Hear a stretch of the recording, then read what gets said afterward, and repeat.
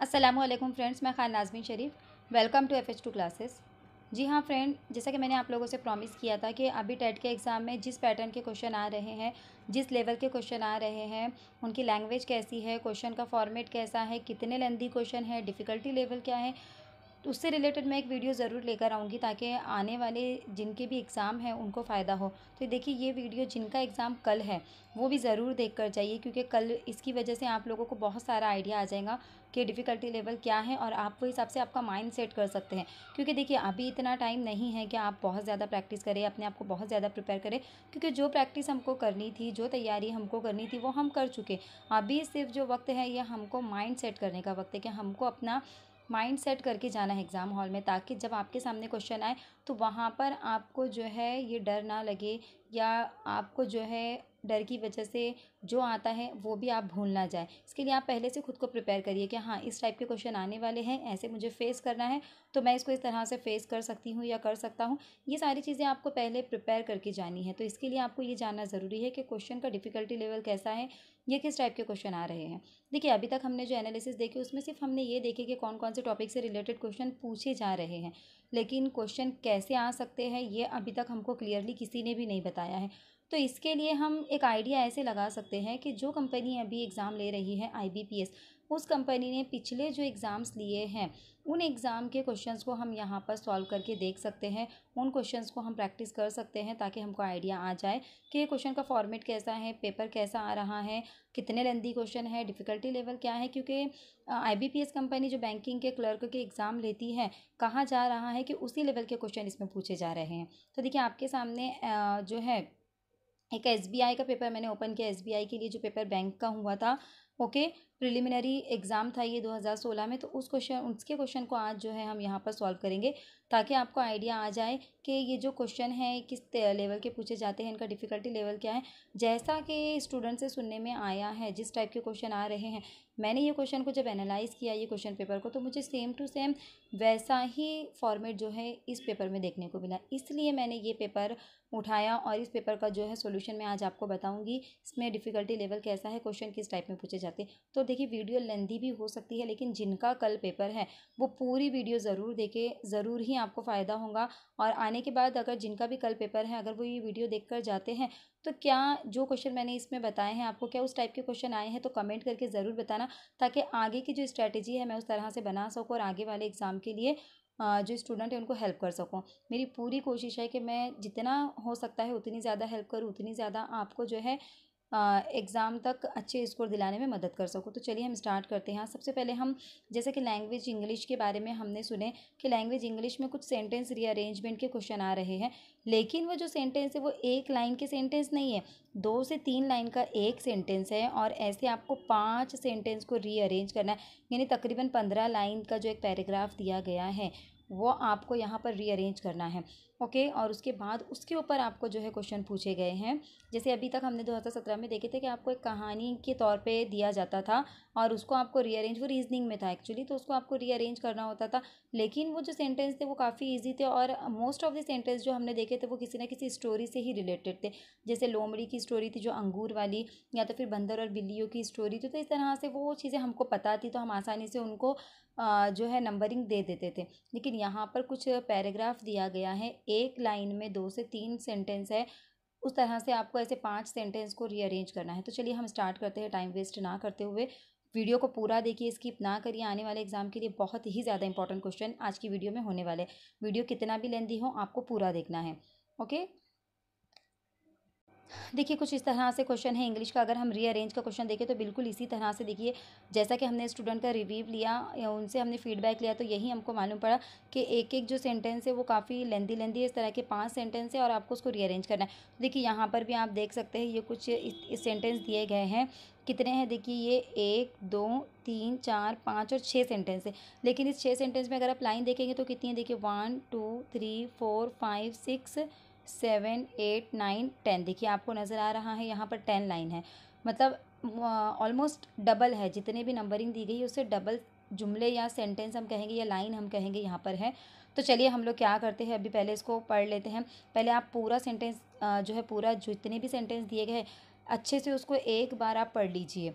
Okay, सुकून से आप एक बार उसको पढ़ लीजिए, उसको समझने की कोशिश कीजिए और फिर आप जो है इसको रीअरेंज करिए। तो पहले हम क्वेश्चन को पढ़ लेते हैं। देखिए apart from this the care provided in this facilities is also not up to the mark यानी इसके इसके बावजूद जो भी फैसिलिटीज़ दी जाती थी, वो अप टू द मार्क नहीं थी, वो उतनी अच्छी नहीं थी।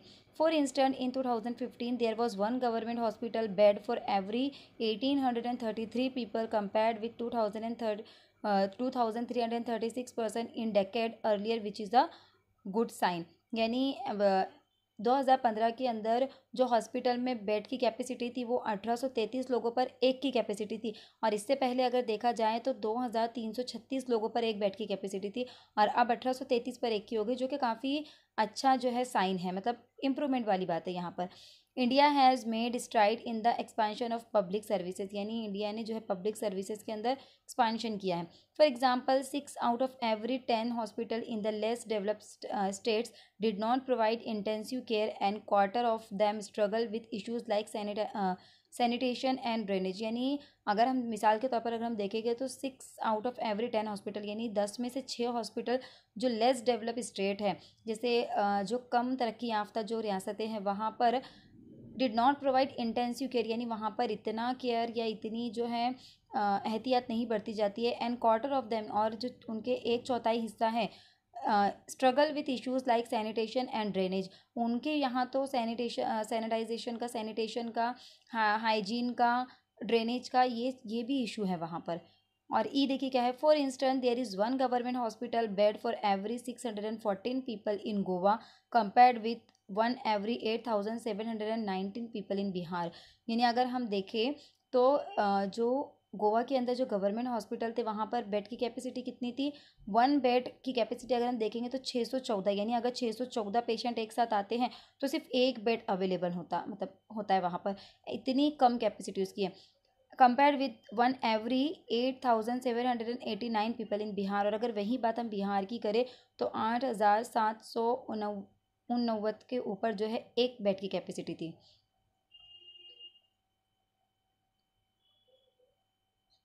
ओके okay, और लास्ट वाला क्वेश्चन देखिए क्या है? However as Lancet point points out this availability of bed has been inequitably distributed within a country और अगर हम ये भी देखें ये जो बेड की यहाँ पर कैपेसिटी बताई गई है तो ये पूरी कंट्री के अंदर इन इक्वल है। मतलब इक्वली सब तरफ़ इसका जो है वेटेज नहीं है। ये हर मतलब पूरे कंट्री के अंदर, हर रियासत में ये अलग अलग वेटेज है।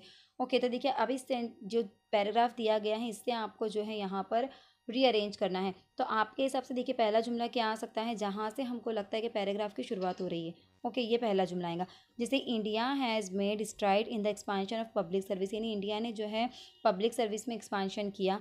ओके तो ये आ गया हमारा पहला, हम इसको लिख लेते हैं यहाँ पर सी हमारा पहला आ गया। आप इसको नोट डाउन कर लीजिए और ये पैराग्राफ की भी स्क्रीनशॉट ले लीजिए आप, क्योंकि क्वेश्चन काफ़ी लेंदी है। ऑप्शन जो भी मेन सवाल है वो इसके नीचे आने वाले हैं तो आप इसका स्क्रीनशॉट ले लीजिए और इसको आप फिर रेफ़र कर सकते हैं।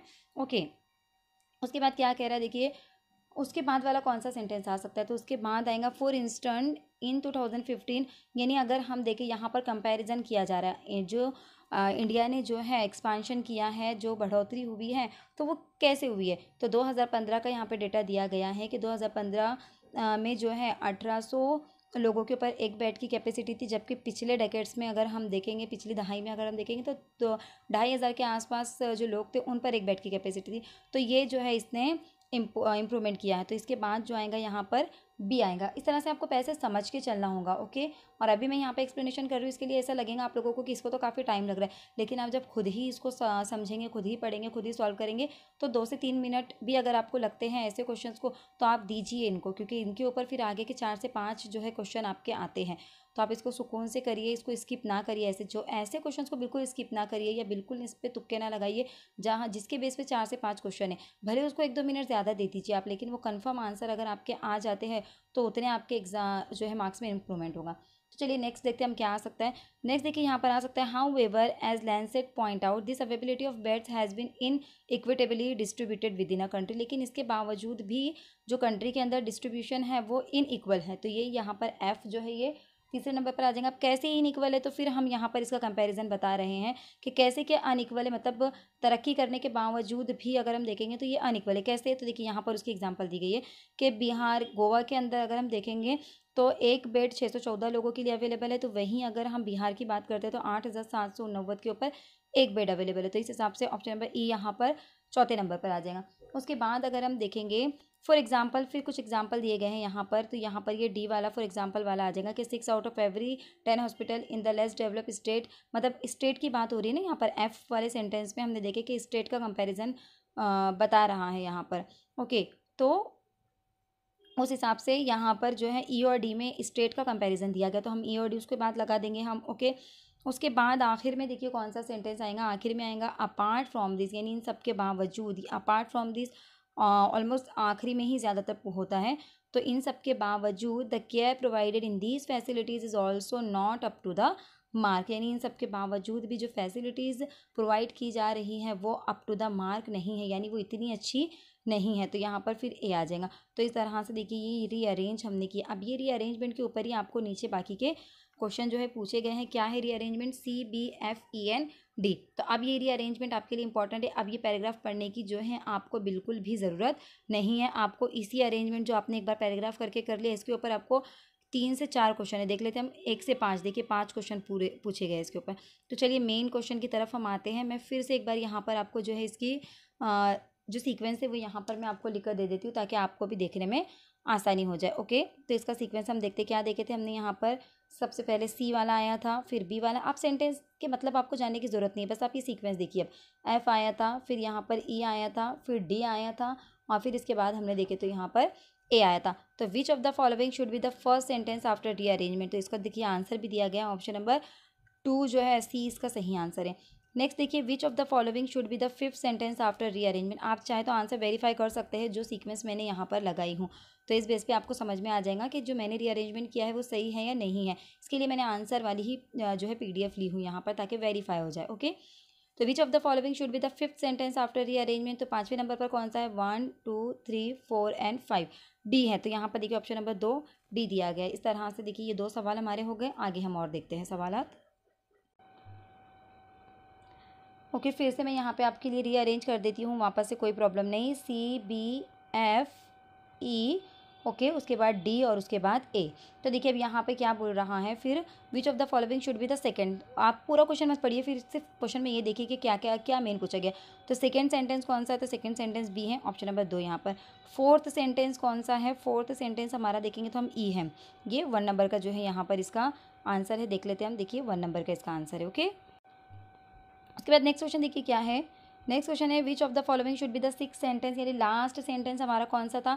तो हमने देखे थे कि लास्ट में हमारा जो है ए आया था तो ऑप्शन नंबर ए यहाँ पर इसका सही होगा। तो देखिए, पाँच मार्क्स का सवाल आपका सॉल्व हो गया। देखिए एक्सप्लेनेशन में मुझे बारह से तेरह मिनट लगे। जब आप खुद से सॉल्व करेंगे तो आप चार से पाँच मिनट या दो तीन मिनट में आप इसको सॉल्व कर सकते हैं। नेक्स्ट क्वेश्चन देखिए क्या है? बाकी जो पैसेज के क्वेश्चन थे, वो मैंने स्कीप कर दी हूँ। पैसेज की प्रैक्टिस हम अब एक दो दिन हम एनालिसिस देखेंगे। अगर सच में पैसेज पूछे जा रहे हैं तो हम उसकी भी प्रैक्टिस लेंगे। तो देखिए, अब यहाँ पर in this question the sentence has two blanks sorry ये ब्लैंक वाला क्वेश्चन है, हम एरर वाला क्वेश्चन ले लेते हैं अभी। देखिए यहाँ पर क्या कह रहा है in these question read the sentence to find out whether there is any grammatical error देखिए यहाँ पर क्या कह रहा है ग्रामेटिकल एरर हमको यहाँ पे फाइंड आउट करना है, यानी आपको उन्होंने एक हिंट दे दिया कि जो भी एरर होगा वो ग्रामेटिकल में होगा, यानी टेंस में हो सकता है प्रिपोजिशन में हो सकता है आर्टिकल में हो सकता है, जो ग्रामर से रिलेटेड बेसिक बेसिक बातें हैं आपको यहाँ पर मालूम होना बहुत ज़रूरी है। The error if any will be in one part of the sentence mark the part with the error as your answer, यानी जिस भी पार्ट में एरर है वो आपको सिलेक्ट करना है। If there is no error, mark no error as your answer. अगर कोई भी एरर नहीं है तो आपको इसको नो no एरर करना है। अब देखिए, यहाँ पर उन्होंने एक पॉइंट दिया है कि किस चीज़ को आप एरर नहीं मानेंगे, पंचुएशन को आप एरर नहीं मानेंगे। मतलब कहीं फुल स्टॉप रह गया तो उसको आप एरर नहीं मानेंगे, कहीं कॉमा रह गया तो आप उसको एरर नहीं मानेंगे। पंचुएशन का यहाँ पर एरर कंसिडर नहीं किया गया सिर्फ़ ग्रामेटिकल मिस्टेक आपको यहाँ पर फाइंड आउट करनी है। अब देखिए, सेंटेंस क्या है? पहला जस्ट मिनट। पहला सेंटेंस देखिए क्या है? The progress of the south west monsoon is relatively slow as it is not getting a favourable system for move forward no error अब देखिए फॉर जब आता है, यहाँ पर इसमें एरर है चौथे सेंटेंस के अंदर। कि जब यहाँ पर अगर फोर आया तो फोर मूविंग आ जाएगा, यानी वर्ब में या तो आईएनजी चाहिए और अगर मूव आया तो यहाँ पर फोर की जगह टू आना चाहिए फिर। यानी यहाँ पर ग्रामेटिकल एरर है ओके यहाँ पर फोर की जगह टू आना चाहिए था प्रिपोजिशन का एरर है, यहाँ पर टू मूव फॉरवर्ड तो इसका जो है जवाब होगा चौथा ओके इसका क्या जवाब होगा? चार जो है नंबर पे एरर देखिए ऑप्शन किस तरह से दिए गए, ये वाला जो सेंटेंस है, इसका नंबर वन है। जस्ट अ मिनट देखिए ये जो सेंटेंस स्टार्ट हुआ देखिए आखिर में उसको नंबर दिया गया है। ये वाला जो सेंटेंस है इसका नंबर दो है। ये नॉट वाला जो सेंटेंस है इसका नंबर तीन है। और ये जो फॉर मूव फॉरवर्ड इसका नंबर चार है और नो एरर का नंबर पाँच है। तो आपको ये भी चीज़ें याद रखनी है। अगर इस सीक्वेंस में आपके जो है सेंटेंस आते हैं तो, तो यहाँ पर चार में जो है यहाँ पर मिस्टेक है। ओके अब उसके बाद अगला क्वेश्चन देखते हैं हम लोग क्या है। Authorities have derived request for private hospitals care to the to the accuse no error. तो यहाँ पर आप, कहाँ पे आपको नज़र आ रहा है, देखिए authority have derived request for private hospital okay तो देखिए, यहाँ पर कहाँ हमको एरर नज़र आ रहा है? टू द अक्यूज़ क्योंकि द जो है, ये हमेशा सुपर सुपरलेटिव की, ये किसी स्पेशल चीज़ के साथ लगता है आर्टिकल तो यहाँ पर जो है और यहाँ पर भी चौथे ही सेंटेंस के अंदर एरर हमको नज़र आ रहा है ओके तो इसका आंसर हम लोग देखिए, देख लेते चौथा, इसका आंसर है यहाँ पर, देखिए ऑप्शन नंबर चार, इसका सही जवाब है। अब देखिए सेंटेंस क्या है? The drive intended to creating तो देखिए यहाँ पे टू के साथ मैंने कहा था कि आईएनजी जो है ये फॉर क्रिएटिंग आएगा या टू क्रिएट आएगा। तो the drive intended to create an awareness या फॉर क्रिएटिंग एन अवेयरनेस इस तरह से आता है। तो यहाँ पर फ़र्स्ट वाले में जो है एरर है। नेक्स्ट क्वेश्चन देखिए क्या है? Gold continued its rising streak for the fourth stress session to reclaim the just a minute आधा सेंटेंस नीचे है, देख लेते हैं हम लोग। फिर से the gold continue continued its rising streak for the straight session to reclaim the psychologically significant thirty thousand mark no तो यहाँ पर जो है, यहाँ पर भी फ़र्स्ट सेंटेंस के अंदर मिस्टेक है gold continuing its rising streak okay तो यहाँ पर टेंस की मिस्टेक है। तो इस तरह से जो है, आपको एरर आपको फाइंड आउट करना है। तो आपको एरर कैसे फाइंड आउट करना है? ग्रामर ग्रामेटिकल एरर ही ज़्यादातर होंगे। इसके लिए आपको ग्रामर की बेसिक नॉलेज होना बहुत ज़रूरी है। टेंसेस की नॉलेज आपको ज़रूरी है। यहाँ पर आर्टिकल की नॉलेज प्रिपोजिशन की नॉलेज कौन सा प्रिपोजिशन कहाँ पर इस्तेमाल होता है? अगर ये तीन चीज़ें आपकी पक्की है, ये कंसेप्ट आपकी क्लियर है तो एरर आप आसानी से फाइंड आउट कर सकते हैं, क्योंकि ज़्यादातर एरर आर्टिकल से रिलेटेड आता है, या तो फिर टेंस से रिलेटेड आएगा, या तो फिर आपको जो है प्रिपोजिशन से रिलेटेड आएगा। तो ये चीज़ें आपके पास वक्त है अभी तो आप ये चीज़ों को अच्छे से पढ़ लीजिए। नेक्स्ट देखिए क्या है? The system which keeps a record for personal and professional details of all community members was hack no error देखिए, यहाँ पर भी जो है ग्रामर मिस्टेक है, यहाँ पर अगर आप देखेंगे तो यहाँ पे देखिए द सिस्टम विच कीप यहाँ पे क्या आना चाहिए था? देखिए the system which okay the system which यहाँ पे कीप्स की जगह केप्ट आना चाहिए था, क्योंकि ये जो सेंटेंस ये पास्ट टेंस का है। तो the system which kept a record for personal and professional details of all community members was hacked okay तो यहाँ पर जो है टेंस की मिस्टेक है। तो ये आपको पहचानते आना चाहिए। इसके बारे में इसकी स्ट्रैटेजी भी मैं एक वीडियो बनाऊँगी कि कैसे आप जो है फाइंड आउट करेंगे कि क्या यहाँ पे ग्रामेटिकल मिस्टेक है, यहाँ पर आर्टिकल की मिस्टेक है। तो ये इसकी मैं एक वीडियो के अंदर सारे जो है एरर वाले क्वेश्चन और इसकी कंसेप्ट इंशाल्लाह लेकर आती हूँ कल या परसों। तो जब तक अगर आपका पेपर कल नहीं है तो आप आगे के लिए वो देख सकते हैं। जिन लोगों का पेपर कल है तो वो इससे एक आइडिया लगा लीजिए। और इसके हिसाब से आप जो है एरर फाइंड आउट करिए कि अगर आपका ग्रामर के ऊपर पकड़ है, आपका ग्रामर अच्छा है तो फिर आप फाइंड आउट करिए। तीन चीज़ें आप देखिए टेंस देखिए आप आर्टिकल देखिए और प्रपोजिशन देखिए, ये तीन चीज़ों पर ही ज़्यादातर एरर पूछे जाते हैं। आपने अगर टीईटी का एग्ज़ाम दिया है, महा टीईटी तो उसमें भी ये क्वेश्चन आता था। महा टीईटी के अंदर भी आपको जो एरर पहचानने के लिए आता था तो तब शायद आपको इसका आइडिया आ गया होगा कि कैसे इन क्वेश्चन को सॉल्व किया जाता है ओके अब देखिए, हमने इंग्लिश के क्वेश्चन ले लिए। अब कुछ क्वेश्चन हम जो है रीजनिंग के लेते हैं, जो इंपॉर्टेंट टॉपिक एग्ज़ाम में पूछे जा रहे हैं, जिसे स्टेटमेंट एंड कंक्लूजन के ऊपर क्वेश्चन पूछा जा रहा है।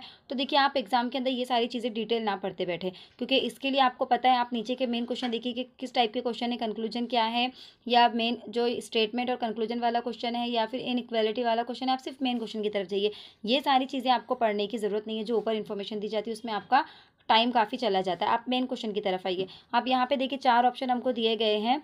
Option number one if only one conclusion is true option number two if either conclusion one और two is true option number three if only conclusion second is true या option number four if neither conclusion one nor two is true और option number five है if both conclusion one and two are true तो ये किसके base पर करना है? तो देखिए ये नीचे इन्फॉर्मेशन दी गई है इसके बेस पर जो है आपको यहाँ पर आ, ये करना है। तो देखिए कैसे करेंगे आप लोग इसको? देखिए यहाँ पर हम देखेंगे कि यहाँ पर दिया गया है जी ग्रेटर देन और equal to R R greater than O O greater than and equal to S ये एक यहाँ पर सेंटेंस कंप्लीट हो गया।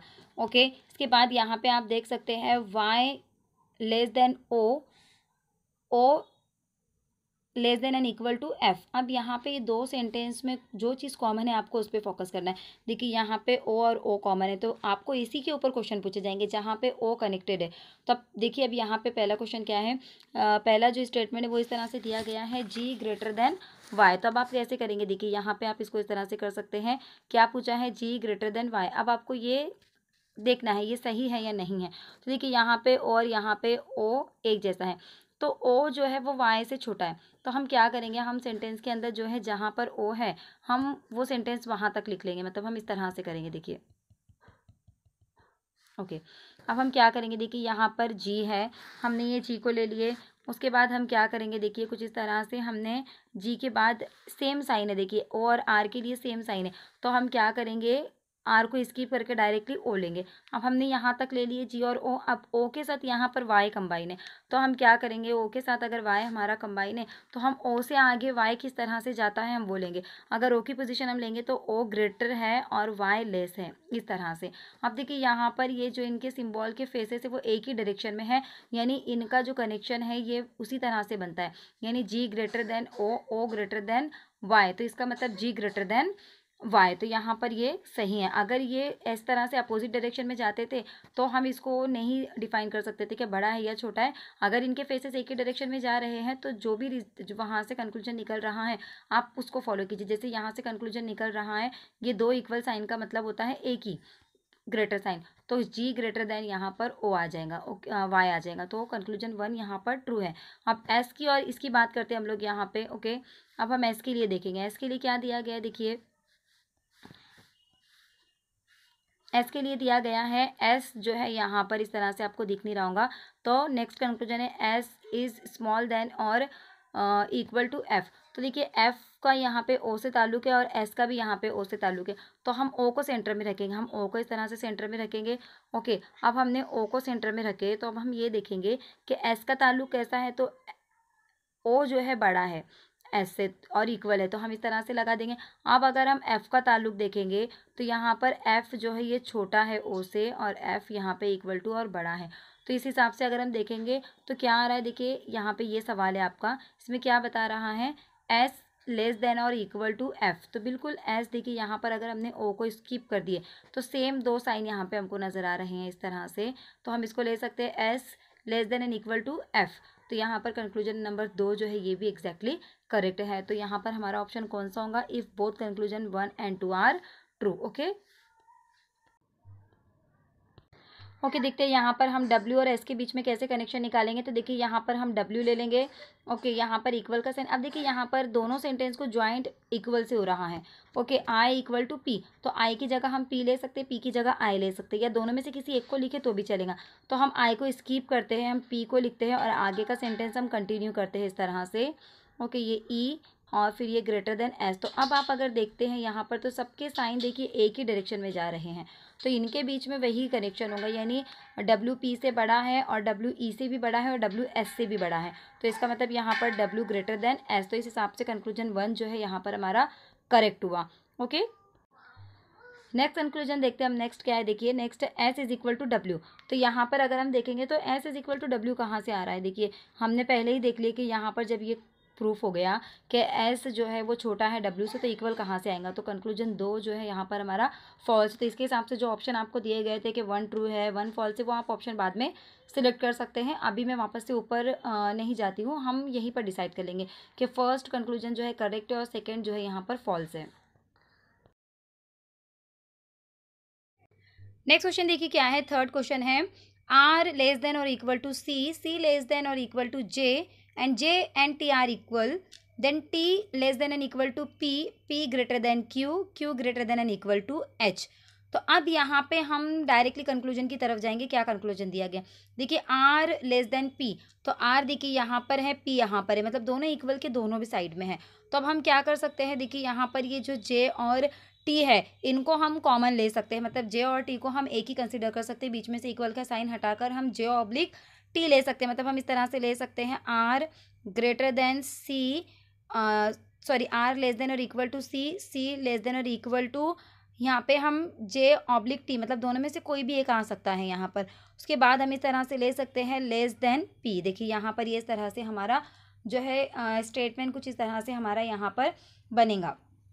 तो अब यहाँ पर हमने क्या किए? जे और टी को हमने एक ही कंसिडर किए ओके ये एक ही कंसिडर किया हमने। जे और टी दोनों में से कोई एक हम यहाँ पर इसको, दोनों में से कोई एक रख सकते हैं दोनों को अब्लिक करके भी हम यहाँ पर रख सकते हैं। अब आपको किसका कंपैरिजन करना है? देखिए आर लेस देन पी है क्या? हमको ये देखना है। तो पहले तो हम ये देखेंगे, जो सिम्बॉल्स आपको दिए गए हैं, वो सिम्बॉल्स की पोजीशन कैसी है? तो देखिए, सभी की पोजीशन अगर आप देखेंगे तो एक ही डायरेक्शन में है।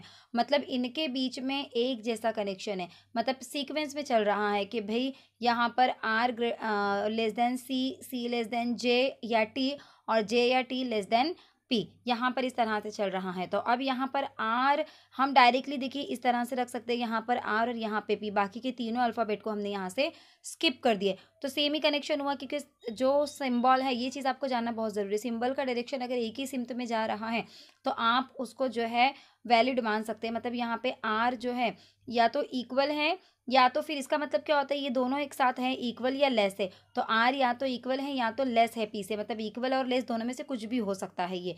आप ये तो करेक्ट हो गया वन वन वाला कि भाई आर लेस देन पी ये करेक्ट हो गया। नीचे क्या दिया गया? पी एन आर जो है, ये इक्वल है। तो हो सकते हैं पी एन आर इक्वल भी हो सकते हैं, क्योंकि साइन ही इस तरह से दिया गया है less than and equal to का।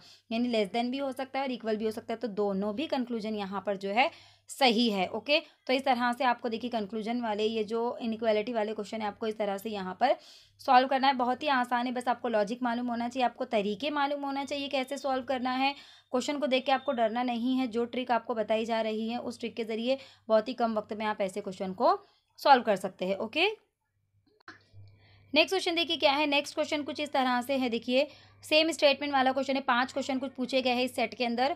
तो देखिए यहाँ पर सेम स्टेटमेंट वाला इनक्वालिटी को भी बहुत ज़्यादा, जैसे आज आपने मेरा अगर वीडियो देखे होंगे तो इनक्वालिटी को भी काफ़ी ज़्यादा वेटेज जो है, चार से पाँच क्वेश्चन जो है टेट एग्ज़ाम में भी दिए गए हैं। तो ये चीज़ आपको ध्यान में रखनी, जिसके हिसाब से आपको बनाना है। ओके तो फिर अब यहाँ पे हम क्या करेंगे? देखिए स्टेटमेंट क्या दिया गया है? आर लेस देन और equal to O O less than यहाँ पर सिर्फ़ लेस देन ए है। इक्वल वाला अगर साइन यहाँ पर आया तो ये गलत होगा। मतलब अगर हम ऐसा बोलेंगे कि ए और ओ इक्वल भी हो सकते हैं तो नहीं। सिर्फ़ यहाँ पे लेस देन वाला साइन है, देखिए यहाँ पे। उसके बाद A less than and equal to, अब ए इक्वल भी हो सकता है, लेस भी हो सकता है एम से। ये एक सेंटेंस कंप्लीट हो गया, नया सेंटेंस यहाँ पर देखिए L is equal to D D greater than और इक्वल टू ए अब देखिए, यहाँ पे दो सेंटेंस अलग अलग है, लेकिन इनमें कुछ ना कुछ कॉमन ज़रूर होता है। तो देखिए, यहाँ पर ए और यहाँ पर ए कॉमन है। अब सवाल भी आपको ऐसा ही पूछा जाएगा, जहाँ पर ये ए कॉमन वाली कंसेप्ट यूज़ होंगी। ये चीज़ आपको फोकस करनी है ओके तो अब देखिए, क्या है? कंक्लूजन क्या है? आर लेस देन एल अब देखिए आर इधर है एल इधर है यहाँ पे। तो अब हम कैसे इसको करेंगे? तो देखिए, यहाँ पर भी ए है, यहाँ पर भी ए है। तो हम इसको अभी कंबाइन कर देंगे। इन सेंटेंस को जो है, हम क्या करेंगे? यहाँ पर कंबाइन करेंगे। आर जो है लेस देन यहाँ पर देखिए ए है तो हम यहाँ पे ए ले लेंगे। बीच में का ओ हमने स्किप कर दिया। R less than A okay क्योंकि साइन का जो सिंबल का पोजीशन है, वो एक ही सिमत में जा रहा है तो इसके लिए हम बीच में का ओ हमने स्किप कर दिया। आर लेस देन ए अब देखिए यहाँ पर क्या कह रहा है? ए और सॉरी जस्ट अ मिनट अब देखिए यहाँ पे हम क्या करेंगे? देखिए ए जो है, यहाँ पे ए का डी से क्या कनेक्शन है? तो देखिए ए डी से कैसा है? देखिए ए जो है, डी से छोटा यानी यहाँ पे हम लेंगे ए डी से छोटा या इक्वल है, किससे? डी से। लेकिन डी और एल इक्वल है तो यहाँ पे मैं डी की जगह ऑब्लिक करके एल भी ले सकती हूँ। या तो हम डायरेक्टली डी को स्कीप ही कर देंगे, हम डी की जगह पे यहाँ पे डायरेक्टली क्या लेंगे हम यहाँ पे? डी की जगह डायरेक्टली हम एल भी ले सकते हैं। क्यों? क्योंकि देखिए यहाँ पे डी और एल जो है इक्वल का साइन आ रहा है। इस तरह से दिया गया यानी डी की जगह पे मैं एल ले सकती हूँ एल की जगह पे मैं डी ले सकती हूँ। तो इस तरह से हमने ये कंक्लूजन निकाला। अब इस हिसाब से अगर आप देखेंगे तो आर लेस देन एल तो बिल्कुल सही आर जो है एस से लेस देखिए साइन का पोजिशन एक ही सिमत में आ रहा है। तो ऑप्शन कंक्लूजन वन जो है यहाँ पर बिल्कुल सही है। देखिए, किस लिए मैंने ऐसा कंसेप्ट लिया, आप इसको मैं एक बार फिर से आपको एक्सप्लेन कर देती हूँ, अगर कन्फ्यूज़न हो रहा होगा तो। देखिए, यहाँ पर ए ए कंबाइन है तो इसके लिए ए को हमने सेंटर में हम पहले ही ड्रॉ कर देंगे। अब ए के साथ हमको क्या क्या लेना है? देखिए आर और एल का क्या रिलेशन है, हम वो ए के हिसाब से लेंगे। तो आर जो है वो ए से छोटा है ओके उसके बाद हम देखेंगे कि ए के साथ एक्चुअली यहाँ पे हमको सवाल में तो एल पूछा है, लेकिन ए का कनेक्शन तो डी से है, लेकिन डी और एल इक्वल भी तो है। तो इसलिए यहाँ पर हमने क्या करे, इस हिसाब से हमने इसको इक्वल और लेस करके यहाँ पर हमने एल लिख दिया। तो इस हिसाब से अगर हम देखेंगे तो आर और एल में क्या कनेक्शन है तो यहाँ पर ये साइन का पोजिशन एक ही सिमत में जा रहा है मतलब आर जो है छोटा है एल से। तो ये कंक्लूजन तो यहाँ पर करेक्ट हुआ। ओके अब हम सेकंड वाला लेते हैं। सेकंड वाले में क्या है, हम वो देख लेते हैं ओके अब सेकेंड क्या देखिए डी जो है, ये ग्रेटर देन ओ है। तो देखिए, यहाँ पर ओ आया है, यहाँ पर डी आया है। तो अब हम जो है, यहाँ पर ए के साथ डी का कनेक्शन देखेंगे क्या है, और ए के साथ हम ओ का कनेक्शन देखेंगे, क्योंकि ए दोनों में कंबाइन है। तो देखिए, हम यहाँ पर ए को बीच में लिख लेते हैं इस तरह से। अब देखिए, क्या कह रहा है, यहाँ पर ओ जो है वो कैसा, सबसे पहले हम ये देखेंगे कि डी कैसा है। तो देखिए डी जो है, वो छोटा है। इस तरह से सॉरी डी जो है बड़ा है, इस तरह से साइन देखा हमको यहाँ पर नज़र आ रहा है। उसके बाद हम ओ को रखेंगे। तो ओ कैसा है? ए से ओ ओ की तरफ़ भी देखिए लेस का साइन है तो ए से छोटा है तो यहाँ पर आ जाएगा ये ओ जो है ए से छोटा, इस तरह से हम इसको पुट कर सकते हैं। अब यहाँ पे क्या कह रहा है? देखिए डी जो है बड़ा है ओ से तो हाँ बिल्कुल भी देखिए, दोनों साइन का जो फेस है, वो एक ही जानब है, एक ही डायरेक्शन में है। यहाँ पर इस तरह से अगर हम देखेंगे तो ओ इस तरह से है। मतलब ये एक ही रिलेशन हो गया कि भाई डी जो है यहाँ पर ओ से बड़ा है। ओके तो इस हिसाब से अगर हम देखेंगे तो कंक्लूजन दो भी यहाँ पर करेक्ट है। ओके नेक्स्ट क्वेश्चन देखिए क्या है। नेक्स्ट क्वेश्चन भी कुछ कंक्लूजन uh, वाला ही क्वेश्चन है। क्वेश्चन नंबर फाइव यहाँ पे हम इसको बोल सकते हैं। ओके okay, तो देखिए क्या है क्वेश्चन नंबर फाइव देखिए यहाँ पे जो स्टेटमेंट दिया गया मैं ये रीड नहीं करती हूँ डायरेक्ट हम कंक्लूजन की तरफ़ जाएँगे। ओके तो आपको भी ऐसे ही करना है डायरेक्टली कंक्लूजन की तरफ़ जाना है। एच ग्रेटर देन टी अब यहाँ पर हम देखेंगे कि एच यहाँ पर है और टी जो है यहाँ पर है। एक ही सेंटेंस में है ओके दोनों भी तो इसलिए हम आसानी से इसको कर सकते हैं। देखिए, ये टी है, उसके बाद कुछ इस तरह से साइन है, फिर ऐसे और ऐसे साइन है और फिर एच है। तो देखिए, यहाँ पे जो साइन के फेसेस है, वो इस तरह से अपोजिट डायरेक्शन में आ गए। तो इसलिए टी और एच के बीच में हम कोई कनेक्शन यहाँ पर नहीं बता सकते कि ग्रेटर है या लेस है। तो इस हिसाब से जो है ये कंक्लूजन वन जो है यहाँ पर फॉल्स हुआ ओके उसके बाद हम देखेंगे सी ग्रेटर देन और इक्वल टू क्यू अब सी और क्यू कहाँ पर है? हमको ये फोकस करना है, चलिए। देखिए सी कहाँ पर है? सी यहाँ पर है और क्यू यहाँ पर है। अब इस हिसाब से अगर हम देखेंगे तो ये जे और टी इक्वल है ओके तो हम इस सेंटेंस के अंदर, इस सेंटेंस को हम इस तरह से कर सकते हैं। सी फिर यहाँ पर हम जे या टी में से किसी एक को लिख सकते हैं। इसको ज्वाइन कर देंगे हम दोनों सेंटेंस को। जे या टी से ज्वाइन कर देंगे क्योंकि दोनों भी यहाँ पर इक्वल हैं। तो इसका मतलब ये एक कंटिन्यू सेंटेंस हम इसको ले सकते हैं। फिर यहाँ पर इस तरह से ये पी आएगा, फिर इस तरह से ये क्यू आएगा। देखिए, अब हम यहाँ पर जो है सिम्बल की पोजिशन देखेंगे कैसी है। देखिए, यहाँ पर भी सिम्बल की पोजिशन अपोजिट आ गई। सी और क्यू के बीच में एक इधर ऐसे सॉरी ओके, इस तरह से, इस तरह से। और फिर एक ऐसा पोजीशन यहाँ पर आ गया, यानी ये जो है दोनों भी अपोजिट डायरेक्शन में है, दोनों का कभी भी तालमेल नहीं हो सकता। तो इसके लिए हम नहीं कह सकते कि क्यों बड़ा है क्या छोटा है। तो इस हिसाब से ये भी करे इनकरेक्ट हो गया ये भी इनकरेक्ट हो गया, ओके। तो देखिए, बिल्कुल आसानी से आप ऐसे क्वेश्चन को सॉल्व कर सकते ऐसे क्वेश्चन से आपको डरना नहीं है, बस आपको ट्रिक के ज़रिए सॉल्व करना है। इसको डायरेक्टली कंक्लूजन पे चाहिए और स्टेटमेंट में उसको चेक करिए, ओके। अब देखिए ब्लड रिलेशन ब्लड रिलेशन से रिलेटेड क्वेश्चन है। और इसी टाइप का सेम एज इट इज़ मतलब क्वेश्चन बिल्कुल इसी फॉर्मेट में क्वेश्चन जो है आपको टेट एग्ज़ाम में पूछा जा रहा है।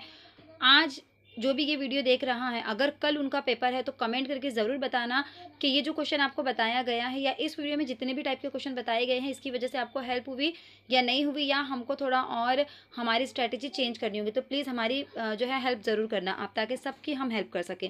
तो देखिए, यहाँ पर इस तरह से क्वेश्चन दिया गया है ब्लड रिलेशन का काफ़ी लेंदी क्वेश्चन है ये। और इस हिसाब से आपको इसके बेस पे जो है चार से पाँच क्वेश्चन यहाँ पर ब्लड रिलेशन के एक ही इन्फॉर्मेशन के ऊपर आपको तीन से चार तो भी एटलीस्ट क्वेश्चन जो है पूछे गए हैं ओके तो अब आप इसको पहले रीअरेंज कर लीजिए। अगर आपका ये एक अरेंजमेंट सही हो जाता है तो इससे आपके तीन क्वेश्चन या चार मार्क्स जो है सिक्योर हो जाते हैं। अब देखिए D is mother of S क्या कह रहा है हमको? डी जो है ये एस की मदर है। हम यहाँ पर ले लेंगे मदर है इसके लिए माइनस का साइन मैंने आपको साइन के हिसाब से बताया था। किसकी मदर है? डी एस की है मतलब एस इसकी सिस्टर है, या जो भी है। एस सॉरी बेटी है। S is the sister of T अब सिस्टर इसके लिए हम एक ही वर्टिकल लाइन से बताएँगे किसकी सिस्टर है टी की। कौन सिस्टर है? एस तो माइनस का साइन लग गया। T is the brother of R अब देखिए टी ब्रदर है इसके लिए इस पर प्लस का साइन लगा। किसका ब्रदर है? आर का। तो इसको भी हम वन लाइन से हॉरिजॉन्टल लाइन से बताएँगे। R is the only son of J अब आर जो है वो just a minute okay okay, यहाँ पर एक मिस्टेक हो गई रीड करने में। मैं फिर से इसको बता देती हूँ आपको। ओके okay, यहाँ तक सही था हमारा कि D is mother of S okay यहाँ पर ये देखिए, फिर से हम इसको सॉल्व करते हैं कि कौन डी कौन है? मदर है तो ये डी मदर है। इसके लिए माइनस का साइन किसकी मदर है? एस की। तो ये एस नीचे आ जाएगा। S is the sister of T अब एस सिस्टर है किसकी? सिस्टर है टी की। तो यहाँ पे एस पे माइनस का साइन आएगा। यहाँ से मुझसे मिस्टेक हो गई थी। टी इज़ मदर है। मैंने सिस्टर ले लिया था। T is mother of R तो टी मदर है इसके लिए टी ऊपर जाएगा। सॉरी मदर है इसके लिए माइनस का साइन आएगा। किसकी मदर है? आर की। तो यहाँ पर ये आर आ जाएगा। R is the only son of J अब क्या कह रहा है? आर जो है वो जे का अकेला बेटा है तो आर बेटा है ओनली सन है इसके लिए इस पर प्लस आ जाएगा। अब जे का बेटा है जब आर की माँ टी है और जे उसके जो है आ, मतलब आर जो है जे का बेटा है आर की माँ टी है तो ज़ाहिर सी बात है जे जो है यहाँ पर टी के हस्बैंड होंगे। तो इस तरह से आपको समझ के कनेक्शन करना होगा। यहाँ पे टी और जे का कोई कनेक्शन नहीं बताया गया, लेकिन आर के थ्रू हमको पता चलता है कि जब आर माँ है और आर जो है, ये जे का बेटा सॉरी जब टी माँ है आर की और जे का बेटा आर है तो ज़ाहिर सी बात है जब टी माँ हो गई तो जे जो हो जाएँगे उसके वालिद हो जाएँगे okay R is the only son of J okay ये एक ही सन इनका। J is the father of U अब जे जो है, ये यू के फादर है तो यहाँ पर ये यू आ जाएगा। अब ओनली सन कहाँ है? आर क्या कहाँ है? R is the only son है। इसका मतलब यू क्या होंगी? यहाँ पर बेटी हो जाएँगी उनकी। Okay J is the father of U U is married to K अब यू जो है, ये किससे किससे मैरिड हुई? तो हम दो इक्वल के साइन से इसको बताएँगे के से। तो के जो है, यहाँ पर इसके हस्बैंड अब देखिए, इस एक इन्फॉर्मेशन के बेस पे आपको यहाँ पर बहुत मतलब तीन से चार क्वेश्चन तो भी आपको सॉल्व करने अब मेन क्वेश्चन हम देखेंगे how is J related to D अब देखिए, यहाँ पर डी है जस्ट अ मिनट यहाँ पर डी है और यहाँ पर जे है। इन दोनों में क्या कनेक्शन है, हमको ये देखना है। तो बहुत ही आसान है आप देखिए इस लाइन से जाइए। यहाँ पर क्या कह रहा है, देखिए एस जो है ओके डी की बेटी है। ये दोनों बहनें हैं ओके कौन दोनों बहनें हैं? एस और टी बहनें बहनें हैं। यानी ये इसके भी यहाँ पर हम ले लेंगे इस तरह से जस्ट मिनट यहाँ पर हम इस तरह से ले लेंगे। यानी ये जो है, टी जो है, ये डी की बेटी है और जे जो है, उनकी बेटी का हस्बैंड है। तो जे क्या लगा उनका? सन इन लॉ लगी। तो यहाँ पर सन इन लॉ कहाँ पर है? देखिए ऑप्शन नंबर दो में सन इन लॉ है। समझ में आया आपको? टी और एस दोनों भी डी की बेटियाँ हैं। ओके? और जे जो है, ये टी का हस्बैंड है। तो जे कौन लगा? डी का उनकी बेटी का हस्बैंड है तो सन इन लो तो ऑप्शन नंबर दो यहाँ पर सही है। ये आप जो मैंने फिगर ड्रॉ की, इसका आप स्क्रीनशॉट ले लीजिए, क्योंकि आगे के क्वेश्चन में ये आपको काम आएगा। या आप इसको ड्रॉ कर लीजिए और फिर आप, मैं जो आगे के क्वेश्चन बताती हूँ, उसको चेक करते जाइए। ओके तो इसको आप ड्रॉ कर लीजिए। आगे के क्वेश्चन हम इसी के बेस पर जो है सॉल्व करेंगे। नेक्स्ट क्वेश्चन देखिए क्या है इसी इन्फॉर्मेशन के बेस पर। If R is the father of X अगर आर जो है ये एक्स के फादर है मतलब यहाँ पे हम इसको अभी एक नया एक्स्ट्रा हम ऐड कर रहे हैं यहाँ पर। ऊपर की इन्फॉर्मेशन में ये नहीं दिया गया था ओके तो यहाँ पर हम एक्स को ले लेंगे। अब क्या कह रहा है? If R is the father of X then how is K related to X तो के क्या लगा एक्स का? तो देखिए यहाँ पर how is K related to K और एक्स का कनेक्शन यहाँ पर हमको पूछा गया है। तो क्या लगेंगे? देखिए यहाँ पर अगर हम देखेंगे कि आर फादर है ओके अब आर फादर है यहाँ पर और ये जो है यू जो है उनकी कौन लगी? आर फादर है और उनकी बहन जो है यहाँ पर यू है। मतलब ये एक्स की कौन हुई? एक्स की फूफी हुई और ये फूफी के जो है ये हस्बैंड है। मतलब ये उसके फूफा हुए। तो हमको यहाँ पर जो है इंग्लिश में दिया गया है। तो इसके लिए हम यहाँ पर जो है अंकल यानी चाचा, मामा, फूफा सबको अंकल कहते हैं। तो यहाँ पर ये इसके अंकल हुए। तो इस हिसाब से हम देखेंगे ऑप्शन नंबर तीन इसका सही जवाब है। अब देखिए क्वेश्चन क्या है? How is S related to R अब आर और एस का क्या कनेक्शन है? हमको यहाँ पे ये पूछ रहा है। देखिए, इस तरह से ये आर और एस का क्या कनेक्शन है? तो देखिए, यहाँ पर आर जो ये टी की बेटी है। ओके और टी की बहन एस है। मतलब आर की माँ की बहन है। तो कौन लगी उसकी वो? उसकी आंटी लगी। तो ऑप्शन नंबर फोर यहाँ पर इसका सही जवाब होगा आंटी। तो देखिए कितनी आसानी से आपने इस इन्फॉर्मेशन की बेस पर तीन क्वेश्चन यानी आपके तीन मार्क्स सिक्योर हो गए। तो आप ऐसे जो है, आप मेरा अगर इसको, आपको अभी तक नहीं पता इसकी ट्रिक तो आप मैंने ब्लड रिलेशन की अभी रिसेंट में ही वीडियो डाली है। तो आप उसको देखिए, उसमें आपको समझ में आ जाएँगे कि कैसे आपको जो इजी वाले पहले क्वेश्चन सॉल्व करिए तो उन इजी क्वेश्चन को ज्वाइन कर, करके आप जो आगे के लेंदी क्वेश्चन सॉल्व कर सकते हैं। नेक्स्ट क्वेश्चन देखिए यहाँ कुछ इस तरह से क्वेश्चन अगर आपको नहीं दिखाई दे रहा है तो आप आपकी स्क्रीन को जूम आउट करिए, क्योंकि यहाँ पर जो है क्वेश्चन काफ़ी लेंदी है और एक ही क्वेश्चन मतलब पूरा क्वेश्चन एक ही वीडियो में सॉरी एक ही वक्त में आपको दिखना चाहिए, इसके लिए मैंने साइज़ थोड़ा इसका जूम इन किया है। तो आप, अगर आपको नहीं दिख रहा है रीड करने में परेशानी आ रही है तो आप इसको जूम आउट कर सकते हैं ओके अब यहाँ पे देखिए कुछ इस तरह से आपको इन्फॉर्मेशन दी गई है कि study the given information carefully to answer the following अब ये जो है पजल का क्वेश्चन है। पजल के लिए बहुत लोग परेशान थे तो ये क्वेश्चन जो है पजल से रिलेटेड ही क्वेश्चन है। इस तरह के क्वेश्चन आपको पजल में पूछे जाएँगे। देखिए क्या है सवाल? Seven boxes J K L M N O N P are kept one above the other, but not necessarily in the same order. Each box contain different element. यानी सात बॉक्स एक के ऊपर एक रखे गए हैं, लेकिन ज़रूरी नहीं है कि इसी सीक्वेंस में है। और हर बॉक्स में एक चीज़ जो है अलग अलग रखी गई है। सब में अलग अलग चीज़ें रखी गई हैं। ओके इस तरह से आपको कह रहा है। ओके, जैसे वो एलिमेंट के भी नाम दिए गए हैं, cookie, pencil, spoon, diaries colours jewellery and watches, but not necessarily in the same order मतलब इनका भी ऑर्डर सेम नहीं है। Only two boxes are kept between M and N. अब देखिए, आप आपके हिसाब से पहले एम और एन की पोजिशन को जो है पुट करिए, ओके? अब मैं यहाँ पर करके बताती हूँ आपको किस तरह से आपको करना है, जस्ट अ मिनट।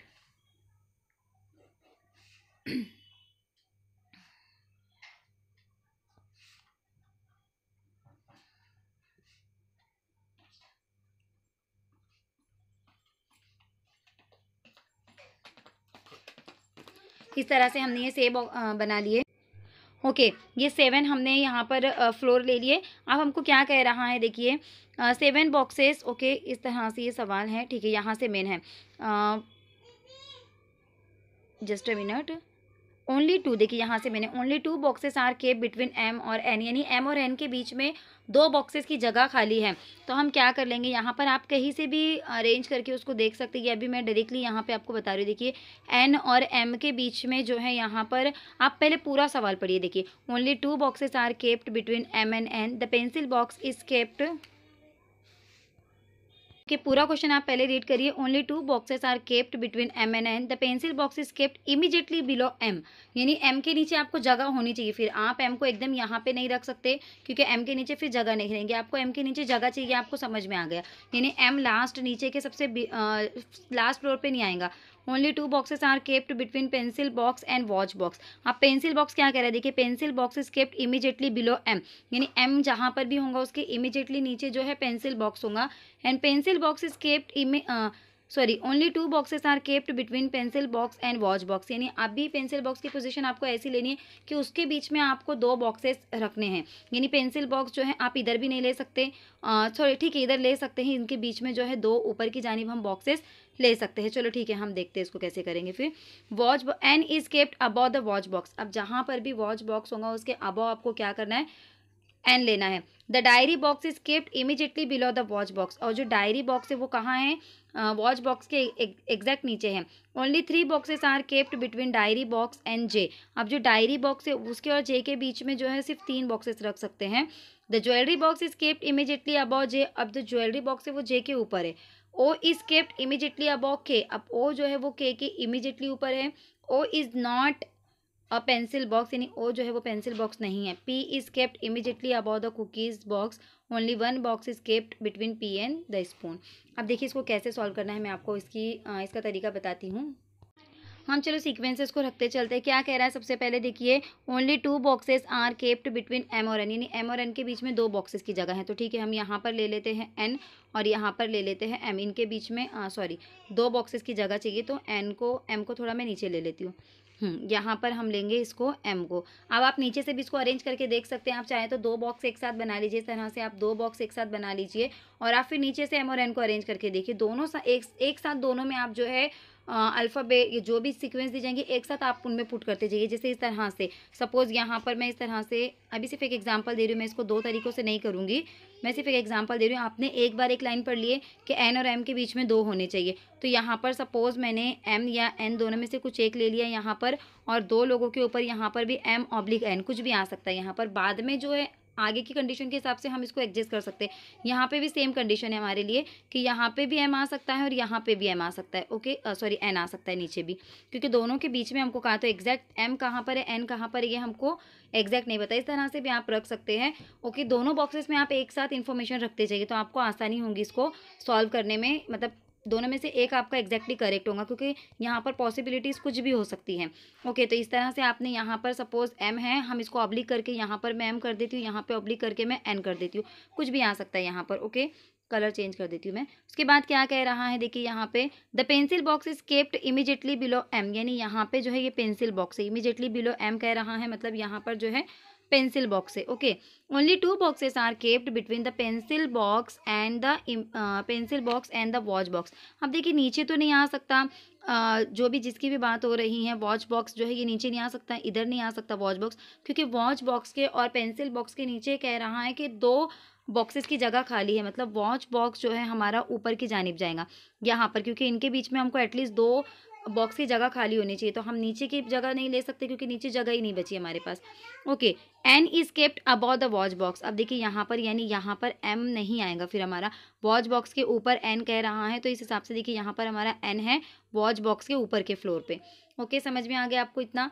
अब क्या कह रहा है? देखिए the diary box is kept immediately below the watch box अब diary box directly watch box के नीचे है तो यहाँ पर ये डायरी आ जाएगा। डी से मैं इसको लिख देती हूँ डी और ओके डी आई से। Okay diary is box is immediately kept below the watch box यहाँ तक हो गया। Only three boxes are kept between the diary box and J अब देखिए डायरी और जे के बीच में तीन आने चाहिए। तो देखिए, यहाँ पर हम ऊपर की जानी तो अब जे को नहीं ले सकते क्योंकि ऊपर जगह ही नहीं बची। तो यानी डायरी के नीचे जो है वो जे आएगा कहीं तो भी। तो कहाँ आएगा, क्या कह रहा है? देखिए only three boxes are kept between the diary box and J यानी तीन बॉक्स हम नीचे जाएँगे। ओके यानी ये वन ये टू और ये थ्री ये थ्री बॉक्सेस छोड़कर हम जे जाएँगे। हाँ सॉरी डायरी बॉक्स कह रहा है ना?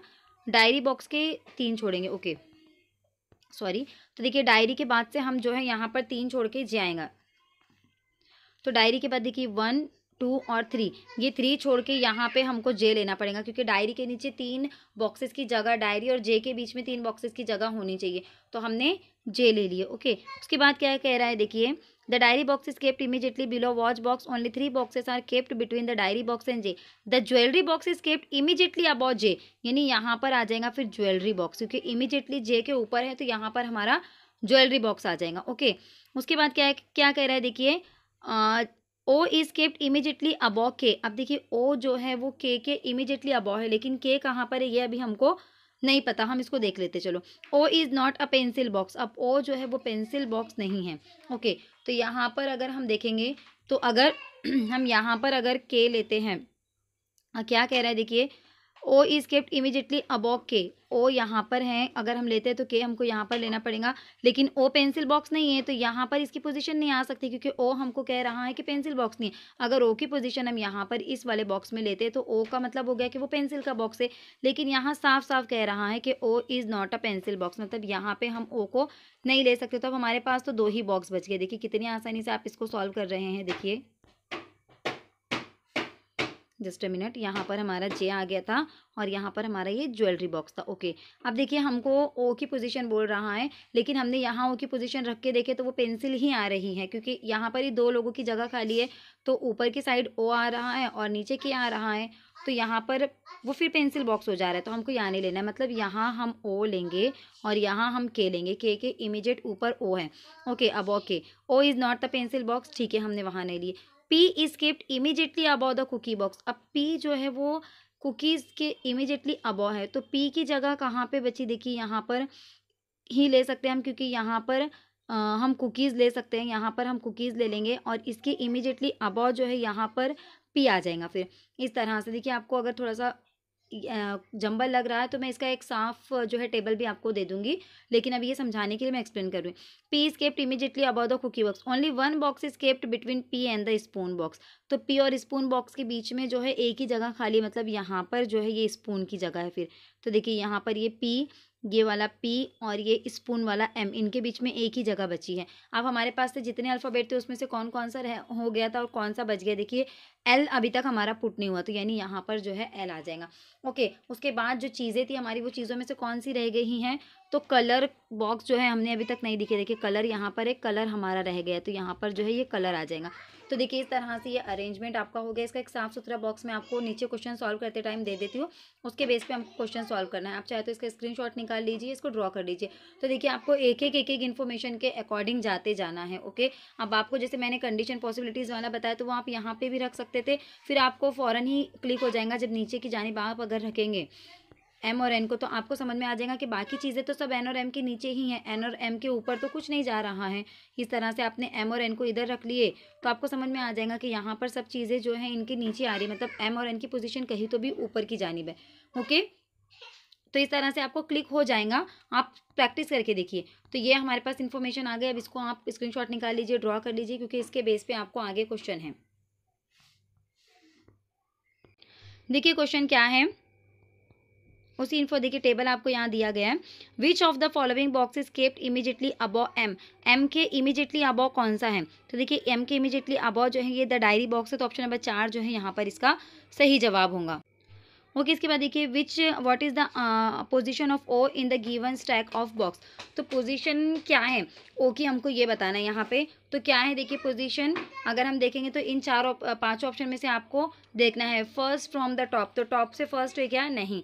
सेकेंड फ्रॉम द टॉप जी हाँ सेकेंड है ये टॉप से। तो ऑप्शन नंबर दो जो है, यहाँ पर इसका सही हो रहा है। आप जो बॉक्स दिया गया है, आप एक बार उसको रेफर करिए ओके और उस हिसाब से आप जो है इस सवाल का जवाब दीजिए। नेक्स्ट क्वेश्चन क्या है? देखिए which of the following box contain spoon अब स्पून किसमें है? तो हम देख सकते हैं कि स्पून किसमें है? एम में है। तो ऑप्शन नंबर तीन इसका सही होगा। देखिए, एक बार डालने के बाद आपका विद इन अ सेकेंड एक सेकेंड भी नहीं लग रहा हाफ़ सेकेंड में आप क्लिक कर रहे हैं। तो आप उसको थोड़ा सा टाइम दीजिए, आप उसको अरेंज करने की कोशिश कीजिए पजल्स को।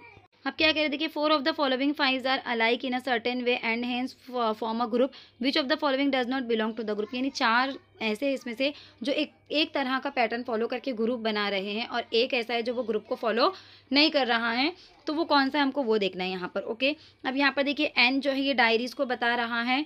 नहीं बता रहा है लेकिन फिर भी हम आगे पढ़ते जाएँगे। पी जो है ये स्पून को बता रहा है के जो है ये कलर को बता रहा है। तो देखिए यहाँ पर अगर हम देखेंगे तो देखिए के और एन ने आपस में अपने जो है बॉक्सेस चेंज कर दिए। कि एन के आ, कलर बॉक्स था और के का डायरी था। दोनों दोनों का इंटरचेंज हुआ।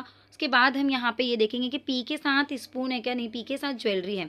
स्पून किसके साथ है? स्पून यहाँ पर एम के साथ है। तो पी और एम एम का तो कोई ज़िक्र ही नहीं है। तो हम इससे ही समझ गए कि यहाँ पर पी के साथ जो है जो इंटरचेंज होना चाहिए था वो एम होना चाहिए था। तो यहाँ पर एम कहीं भी नहीं तो पी ही यहाँ पर अलग है। लेकिन फिर भी हम बाकी की इन्फॉर्मेशन को चेक कर लेते हैं। आप बॉक्स को रेफर करिए। जो क्वेश्चन मैं बता रही हूँ, उसके हिसाब से आप बॉक्स रेफर करिए। अब देखिए के और एन का तो हो गया हमारा। अब एल और ओ का देखेंगे हम। एल जो है स्पून को बता रहा है क्या? तो देखिए एल सॉरी एल जो है पेंसिल को बता रहा है क्या? तो एल जो है, यहाँ पर पेंसिल को बता रहा है और ओ जो है, यहाँ पर स्पून को बता रहा है। ओके तो अब हम यहाँ पर देखेंगे कि एल के साथ जो है ये सॉरी यहाँ पर इसका जवाब पी नहीं आएगा, इसका जवाब एल आएगा क्योंकि एल के साथ पेंसिल ही है, लेकिन बॉक्सेस ने अपने जो है जो अल्फ़ाबेट उन्होंने अपने बॉक्सेस चेंज किए। लेकिन यहाँ पर जो है एल के साथ तो हमारे टेबल में भी पेंसिल ही आ रहा है और यहाँ पर भी पेंसिल ही दे रहा है। मतलब इसने चेंज नहीं किया तो यही बाकी में से अलग है, बाकी सबने अपने बॉक्सेस चेंज कर दिए। तो ऑप्शन नंबर चार इसका सही जवाब है। नेक्स्ट क्वेश्चन देखिए how many boxes are kept between K and watch box अब के और वॉच बॉक्स के बीच में कितने बॉक्सेस रखे गए हैं? तो यहाँ पर अगर हम देखेंगे तो कितने बॉक्सेस रखे गए हैं, हम इसके बीच में देख सकते हैं।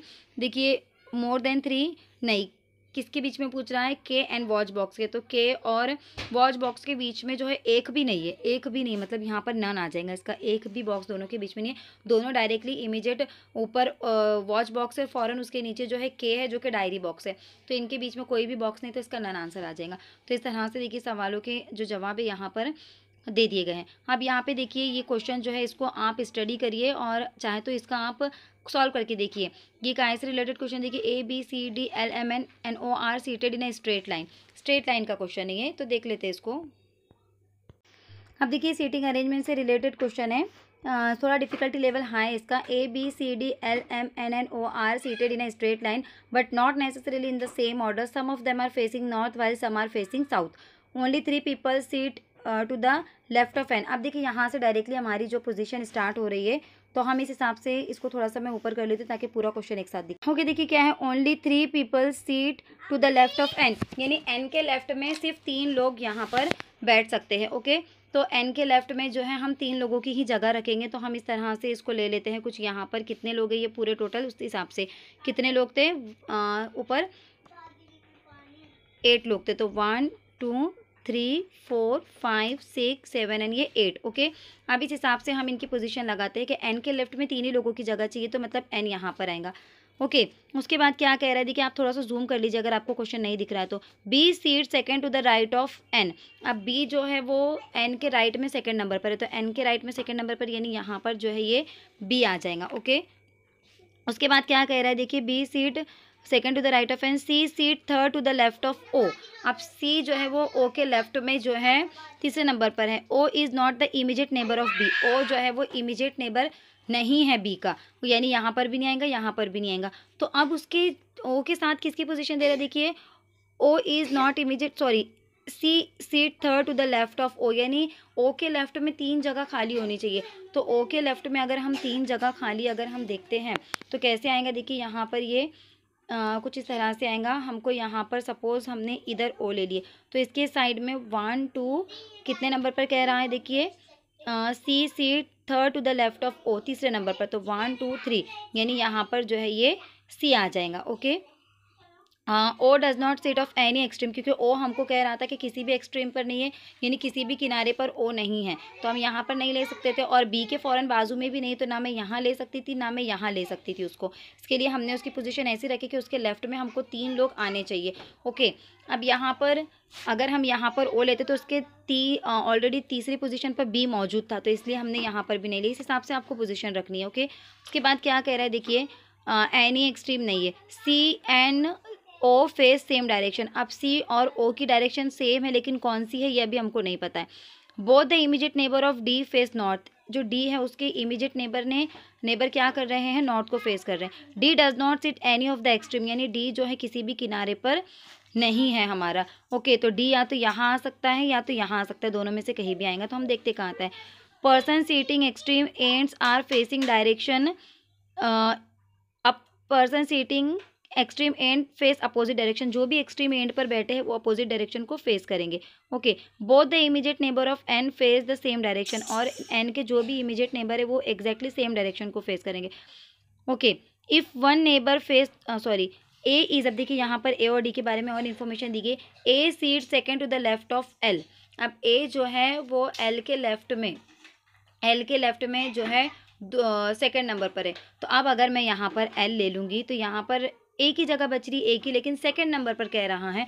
तो इस हिसाब से हमको एल कहाँ लेना पड़ेगा? देखिए, हमको एल जो है यहाँ पर लेना पड़ेगा। यहाँ पर मैं एल लूँगी तो जब उसके बाद सेकेंड पोजिशन पर लेफ़्ट में सॉरी राइट में A is second to the left of L हाँ एल के लेफ़्ट में जो है, यहाँ पर हमको सॉरी जस्ट अ मिनट यहाँ पर मैं ए ले लूँगी। तो इसके जो लेफ़्ट में हमको सेकेंड नंबर पे एल के लिए जगह मिल रही है। अगर मैंने यहाँ पर ए लिया होता तो इसके लेफ़्ट में ऑलरेडी बी मौजूद था। तो हम यहाँ नहीं ले सकते तो इस हिसाब से आपको सिचुएशन रख के देखनी है। तो एल हमने ए हमने यहाँ पर लिए तो उसके लेफ़्ट में हमको एल के लिए जगह मिल गई। अब एक ही चीज़ बच गई हमारे पास डी अब इनकी पोजीशन आप जो ऊपर दिया गया है, उसके हिसाब से नॉर्थ साउथ वगैरह जो है, आप अब इनकी पोजीशन देखिए, कौन सी किसकी पोजीशन है ओके अब क्या क्या पोजीशन है देखिए does not sit uh, C and O face the same direction. Both the immediate neighbor of D face north यानी इमीडिएट नेबर जो है वो नॉर्थ फेस कर रहे हैं। जस्ट अ मिनट ओके तो यहाँ पर इमीडिएट नेबर ऑफ़ क्या कर रहे हैं देखिए। Just a minute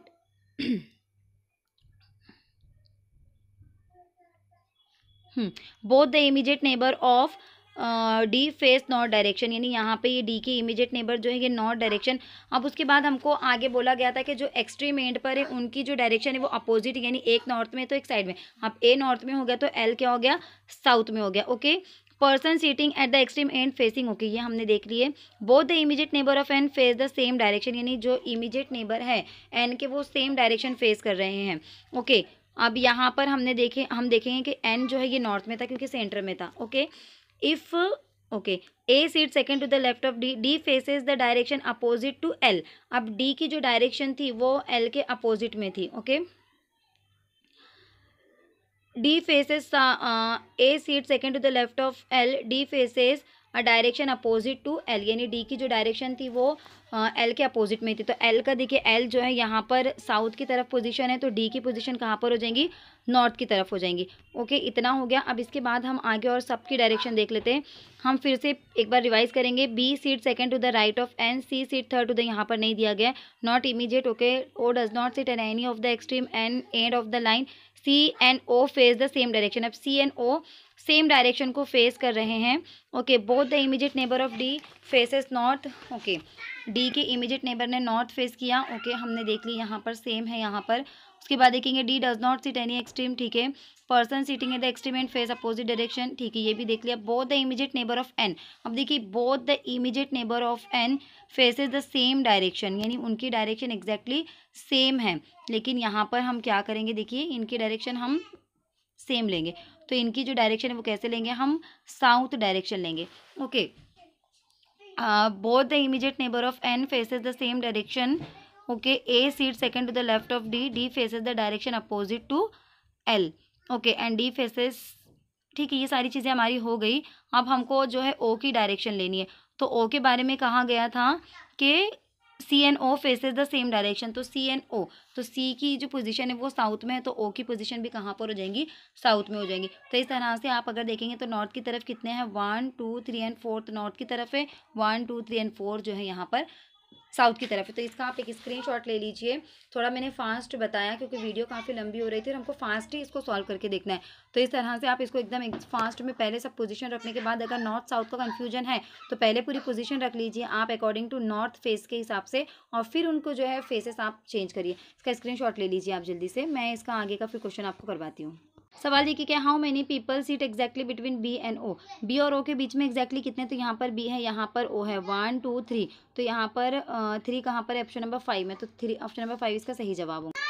next question देखिए क्या हूँ? Among the following represent the immediate neighbour of the person sitting at the extreme end of the line यानी जो एक्सट्रीम एंड पे बैठे, जैसे एम और एल इनकी इमीजिएट नेबर की जोड़ी कौन सी है? तो यहाँ पर डी है और यहाँ पर ओ है। तो ऑप्शन नंबर वन जो है, इसका सही जवाब होगा।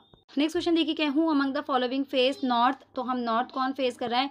A L O N C में से। तो हमने देखे थे कि एन जो है, यहाँ पर नॉर्थ फेस कर रहा था। तो हम फिगर आप चाहे तो ऊपर देख लीजिए एक बार। तो एन जो है, यहाँ पर इसका सही जवाब होगा ऑप्शन नंबर चार। नेक्स्ट क्वेश्चन देखिए क्या है? Which of the following is true based on the given arrangement अब गिवन अरेंजमेंट के हिसाब से कौन सा यहाँ पर ट्रू है? ओके okay, आपको ये देखना है। तो अब इसके लिए आप टेबल फॉलो कीजिए। मैं इसका डायरेक्टली आपको आंसर बता देती हूँ कि आंसर इसका क्या है। और आप जो है टेबल जो बताया गया है वो आप यहाँ पे रेफ़र करिए। ओके तो which of the following okay तो कौन सा यहाँ पर सही है? हमको ये बताना है तो मैं डायरेक्टली आंसर बताती हूँ। M sit at the one of the extreme end हमने देखे थे कि एम और इस साइड से क्या था? एल दोनों भी एक्सट्रीमेंट पर थे लास्ट पर थे तो पांचवा इसका ऑप्शन सही होगा। आप इसके लिए एक बार फिगर को रेफर करिए। नेक्स्ट क्वेश्चन देखिए क्या है? नेक्स्ट क्वेश्चन है who among the following sit second to the right of C यानी सी के राइट में सेकेंड नंबर पर कौन था? तो हमने इसका भी फिगर देखे थे कि सी के राइट में जो है सेकंड नंबर पर आ, कौन था? ए था। तो ऑप्शन नंबर ए जो है यहाँ पर इसका सही जवाब होगा। तो इस तरह से देखिए ये सारे क्वेश्चन जो है हमने सेटिंग अरेंजमेंट से रिलेटेड इसमें लीनियर भी देखे हमने प्लस हमने सर्कुलर भी देखे, हमने पजल देखे, हमने इनक्वालिटी देखे इंग्लिश के बहुत कुछ क्वेश्चन देखे, कैसे पूछे जा रहे हैं। तो इसके हिसाब से आपको एक आइडिया आ जाएगा कि कल जो पेपर होने वाला है वो किस तरह से होगा और क्या लेवल के किस हिसाब से क्वेश्चन पूछे जा रहे हैं। तो आप उस हिसाब से आपका माइंड सेट करके जाइए रिलैक्स रहिए, अगर ओके तो देखिए, कल के लिए आपको, जिनका भी कल पेपर है, उनके लिए बेस्ट विशेष और देखिए, इस स्ट्रैटेजी के हिसाब से आप जाइए, इस तरह के क्वेश्चन आपके सामने आ सकते हैं। इस हिसाब से आपका माइंड सेट करके जाइए। रिलैक्स रहिए, बिल्कुल भी आपको वहाँ पर कन्फ्यूज़ नहीं होना है। आपकी स्टडी हो चुकी है, आपको सब कुछ आता है, आपने बेसिक सीखा है, आपको सीटिंग अरेंजमेंट का बेसिक आता है, आपको, ठीक है पजल और सीटिंग अरेंजमेंट एक ही तरह के क्वेश्चन है। पजल में भी हमको सिटिंग अरेंजमेंट भी हमको पोजीशन वगैरह दी जाती है, उसके हिसाब से हमको अरेंज करना है। और पजल में भी सेम वही चीज़ें हैं, आपको ये आता है सब कुछ, लेकिन बस आपको रिलैक्स रहना है। जितने भी रिव्यू आ रहे हैं तो वो रिव्यूज़ देखकर आपको मोटिवेट होना है, ना कि डीमोटिवेट होना है। उस हिसाब से आपको जो है, कल के एग्ज़ाम के लिए या आने वाले एग्ज़ाम के लिए अपना माइंड सेट करना है। बिल्कुल भी डरिए मत। अगर आप जो है डर जाते हैं तो डीमोटिवेट हो जाएँगे। खुद को मोटिवेट करने का वक्त है। तो देखिए, मैं मेरी पूरी कोशिश करूँगी कि इस टाइप के क्वेश्चन मैं रोज़ाना आपको लेकर हो ताकि आपकी प्रैक्टिस हो जाए। आज हमने एक पेपर देखे। अब और जो टाइप के क्वेश्चन रह गए हैं, जैसे डायरेक्शन से रिलेटेड कैसे क्वेश्चन आ सकते हैं, और भी जो टॉपिक रह गए हैं, इंशाल्लाह मैं कोशिश करूँगी कि मैं उनको भी कवर करूँ कि किस टाइप के क्वेश्चन जो है आईबीपीएस पूछ सकती है। आज जो मैंने कवर जो क्वेश्चन करवाए हैं, ये अकॉर्डिंग टू IBPS पैटर्न है। तो ऐसे ही क्वेश्चन आपके सामने आने वाले हैं। देखिए जो बेसिक चीज़ें आपको आती वही तो यूज़ करना है आपको। और कुछ भी नहीं, लेकिन उसके बेस पर थोड़ा सा लेंथी क्वेश्चन आपको सॉल्व करना है। तो बिल्कुल क्वेश्चन को आप स्किप मत करिए, कोशिश करिए सॉल्व करने की। नहीं होता है तो इसको स्किप स्किप भी किस तरह करिए? कुछ ना कुछ एक ऑप्शन आप सिलेक्ट करिए। अगर सपोज़ आपको कुछ लगता है कि ये जो क्वेश्चन है, ये टाइम कंज्यूमिंग है, मैं इसको सॉल्व कर सकती हूँ या कर सकता हूँ तो आप क्या करिए वहाँ पर? उसको सिलेक्ट करके मार्क फॉर रिव्यू करिए और फिर आगे बढ़िए। वैसे ही उसको सिर्फ़ ओनली मार्क फॉर रिव्यू मत करिए, उसको सिलेक्ट करिए और फिर मार्क फॉर रिव्यू करिए। और इस तरह से हर एक क्वेश्चन को अटेम्प करने की कोशिश कीजिए। लास्ट का जो बीस मिनट बचते हैं आपके, बीस मिनट पहले पहले जो सोल्यूशन है आपका वो आप एंड कर दीजिए।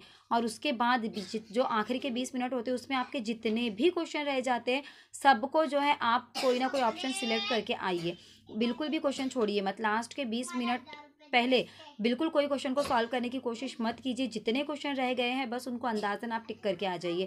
लेकिन हर क्वेश्चन को अटेम्प करिए। उसमें से कुछ ना कुछ तो क्वेश्चन आप सॉल्व करने बैठेंगे तो दो से तीन क्वेश्चन आपके सॉल्व होंगे। लेकिन अगर जो आपने बच्चे क्वेश्चन बीस, तीस है अगर उसको आपने टिक कर दिया, उसमें से पाँच, दस सही आ गए तो उतना आपका फ़ायदा हो जाएगा।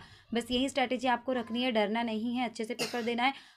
सारे डॉक्यूमेंट साथ में लेकर जाना है। नाम में चेंजेस है तो एफिडेविट लेकर जाइए गैजेट लेकर जाइए, आपका ओरिजिनल आईडी प्रूफ लेकर जाइए ओके तो उम्मीद करती हूँ आज की वीडियो सबको अच्छी लगी होंगी और हेल्पफुल भी होंगी। जिनका कल पेपर है वो ज़रूर पूरी वीडियो देखिए ओके और नेक्स्ट वीडियो आने तक मुझे दुआ में याद रखिए। तब तक के लिए अल्लाह हाफिज़।